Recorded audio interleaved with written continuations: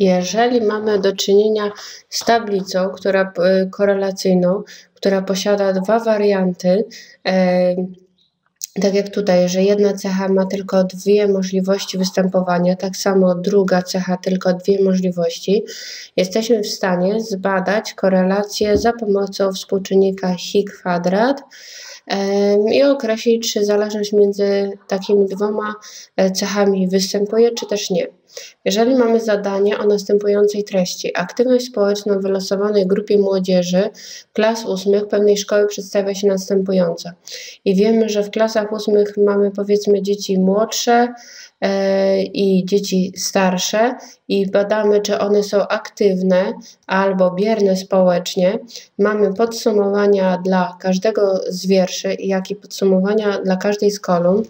Można oczywiście zastosować klasyczny wzór na policzenie statystyki Hi kwadrat, która będzie nam mogła pomóc zbadać, czy zależność społeczna zależy od wieku osób.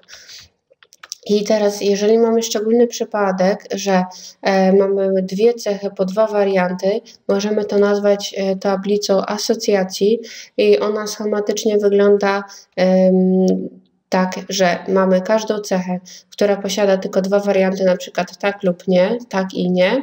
I teraz w podsumowaniu mamy oczywiście sumę A plus B, C i D, czyli tych elementów, które występują w konkretnych czterech polach.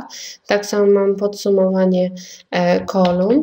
I teraz statystyka Hi kwadrat oczywiście może być liczona z takiego ogólnego wzoru na liczenie jej, ale może być zastosowany ten wzór, który mamy. A razy D oznacza, że tak jakby w macierzach e, liczby na głównej przekątnej ze sobą mnożę minus B razy C. B razy C. Te dwie liczby ze sobą trzeba przemnożyć, a różnicę takich przemnożeń podnieść do kwadratu. N to jest generalnie liczba wszystkich zbadanych jednostek. I taki jakby wynik trzeba podzielić przez każdą e, z sum e, i z wiersza i z kolumny, czyli dzielę przez ten wynik, przez ten, ten i ten. Nie jest to nic skomplikowanego, ale trzeba się nauczyć schematu, że przekątna minus przekątna, wynik do kwadratu, mnożymy to razy łączną liczebność i dzielimy przez każdy wynik z podsumowania wierszy i z kolumn. W naszym przypadku miałoby na podstawie tych danych dokładnie takie obliczenia, czyli 38 razy 36 minus 25 razy 31, wynik do kwadratu i przemnożone razy n, które jest tu e, w połączeniu i w podsumowaniu wierszy i kolumn i podzielimy to przez 63, 67, 69, 61. W której kolejności to nie ma znaczenia. Generalnie nam wyjdzie wynik e, Hi kwadrat. Sam wynik Hi kwadrat nie określi nam, czy występuje zależność między wskazanymi dwoma cechami, czy też nie, ale powiem Wam, że Taki wynik raczej wskazuje na to, że jest to e, niski wynik, który raczej nie będzie potwierdzał występowania takiej zależności. Żeby zbadać, czy faktycznie występuje zależność między dwoma cechami, należy policzyć współczynnik zbieżności czuprowa. E, on uwzględnia to, ile było kolumn, ile wierszy i potrafi przeliczyć tą statystykę Hi kwadrat na konkretne, zestandaryzowane wartości które zawsze można porównywać z innymi wynikami. Jak widzimy, współczynnik zbieżności czuprowa jest e, liczony jako pierwiastek e, z jego wartości podniesionej do kwadratu, czyli faktycznie z tego, co tutaj mamy i, nie, i tutaj widać, że ta zbieżność czuprowa jest identyczna między x a y, a y a x, czyli jest dwustronna. E, I co możemy tutaj powiedzieć? Pod pierwiastkiem wystarczy obliczyć e, ułamek, gdzie w liczniku znajduje się przed chwilą policzona na podstawie tablicy asocjacji statystyka Hi kwadrat i podzielić przez n, czyli e, tutaj w statystyce opisowej jest to łączna liczebność i jeszcze pod e, tą kreską ułamkową znajduje się pierwiastek, gdzie k i l jest to liczba wierszy i kolumn, czyli u nas mamy po dwa e, wiersze wartości i dwie kolumny wartości. Tych kolumn i wierszy z podsumowaniem w ogóle nie bierzemy pod uwagę. Chodzi o liczbę tych możliwych wariantów obu cech.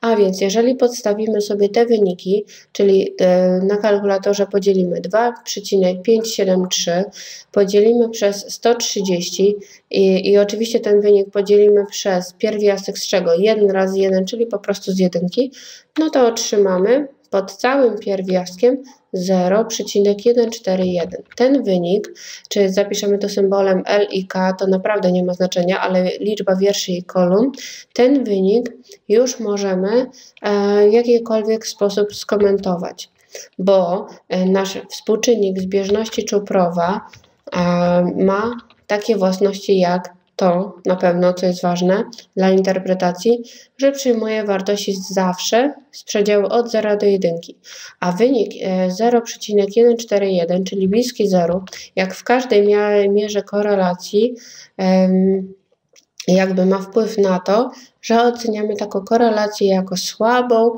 niewystarczającą, o niewielkiej zależności jednej cechy i drugiej.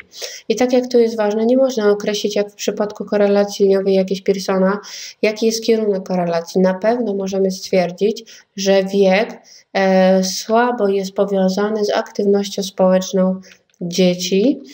E, I tak jak widzicie, może być stosowany zarówno w przypadku cech mierzalnych i niemierzalnych.